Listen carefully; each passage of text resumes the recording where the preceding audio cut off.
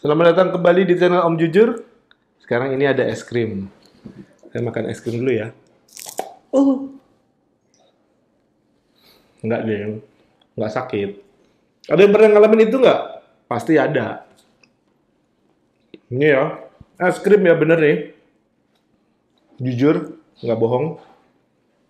Kalau gigi saya sih nggak sakit. Dulu sakit, sekarang nggak sakit. Hmm. Hmm. Nggak apa-apa. Hmm. Hmm. Gigi saya kebal, udah kebal sama dingin-dingin. Nggak ada ngilu-ngilu, nggak ada gimana ya? Pokoknya ngilunya tuh saya udah pernah ngalamin soalnya. Ngilunya tuh sampai ke otak. Parah deh.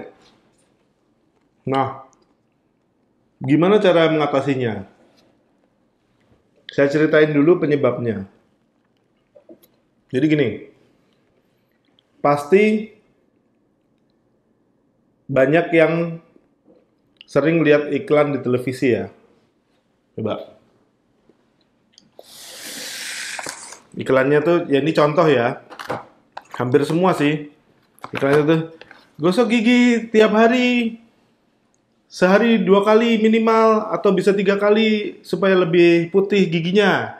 Atau sikat gigi pakai pasta gigi ini membuat gigi anda lebih putih. Nah pada tahu nggak pemutihnya itu apa? Pemutihnya itu adalah fluoride. Pasti pernah dengar. Mau dia food grade mau dia nggak food grade ya itu tetap aja chemical.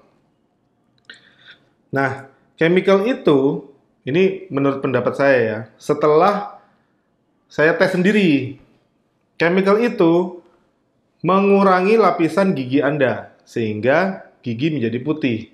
Kalau lapisannya kurang, otomatis dekat dengan syaraf. Kalau dekat dengan syaraf, ya kena dingin ngilu. Nah, ketemunya gimana nih? Om jujur ngalamin sendiri. Jadi dulu karena pengen mulut nggak bau, Sehari saya sikat gigi tiga kali pakai pasta gigi ya. Entah pasta giginya apa, tapi semuanya rata-rata mengandung fluoride. Setelah ada kali tiga bulan saya sikat gigi, sikat gigi itu sehari tiga kali. Habis gitu makan es krim ngilu. Hmm. Aduh, aduh, aduh, aduh, gitu. Hmm. Jatuh deh. Maaf.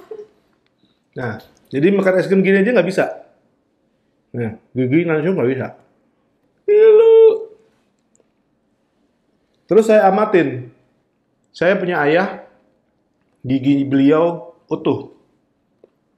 Saya punya ibu, gigi beliau udah mulai ompong waktu itu.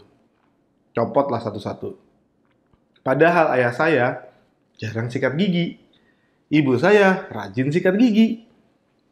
Lalu saya mengadakan eksperimen, ya kan? Sebelum berkesimpulan harus kita tes dulu. Saya nggak sikat gigi satu hari atau dua hari. Atau eh, biar biar rasa giginya tetap enak itu sikat giginya nggak pakai odol. Saya makan es krim lagi, ternyata langsung nggak ngilu. Hmm. Jadi sekarang saya sikat gigi yang pakai odol cuma satu kali sehari. Malah, kan kalau kita biasa sikat gigi itu pas mandi ya. Malah kadang kalau mandi cuma sekali sehari ya sikat giginya cuma sekali sehari gitu. Tapi itu membuat gigi saya tidak ngilu dan tidak gampang sakit. Itu saya alamin sendiri ya. Jadi saya tidak bilang kalau pasta gigi ini jelek, enggak. Tapi kalau kebanyakan itu ada efek sampingnya. Gigi ngilu. Nah, itu. Nah, kebetulan yang biasanya yang ngomong di iklan pasta gigi kan dokter tuh. Terus bawahnya disarankan oleh Asosiasi Dokter Indonesia. Ya, namanya perusahaan odol sama dokter bisa aja kan. Ya, kita menduga lah, bukan su ya seuzon dikit lah, menduga dokternya menyarankan supaya meng, apa orang-orang tuh menggunakan pasta gigi supaya laku gitu. Padahal sebenarnya kalau menurut saya Kita nggak pakai ini juga nggak apa-apa. Kita masih hidup, nggak ada masalah. Sikatan nggak pakai odol, nggak ada masalah. Orang zaman dulu nggak ada odol, tetap hidup, nggak ada masalah. Kayaknya jarang sakit gigi. Malah yang dulu itu saya waktu sikat gigi tiga kali sehari, malah kalau itu malah sering sakit gigi. Udah giginya ngilu, gampang sakit, kemasukan apa dikit sakit. Wah, pokoknya kacau deh. Makanya sekarang saya nggak terlalu uh, pusing kalau nggak ada odol ya. Nah, kalau nggak ada sikat gigi baru pusing. Karena kan susah juga nyikat kalau nggak ada sikat gigi. Tapi kalau nggak ada odol nggak apa-apa nggak ada masalah. Misalnya ketemu orang mulutnya bau, ya daripada gigi, sakit gigi, siapa sih yang mau sakit gigi ya nggak? Nah, jadi itu tips dari saya ya. Jangan terlalu banyak sikat gigi pakai odol. Jadi kalau misalnya, wah masa nggak usah ribut, coba aja, coba aja selama e, tiga hari deh yang giginya ngilu. Kalau makan es krim tiga hari sampai seminggu, sikat gigi nggak usah pakai odol.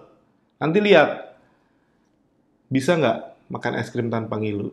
Ya, kalau udah coba, bisa tulis di komentar di bawah. Salam sehat dari Om Jujur dan selalu jujur. Bye.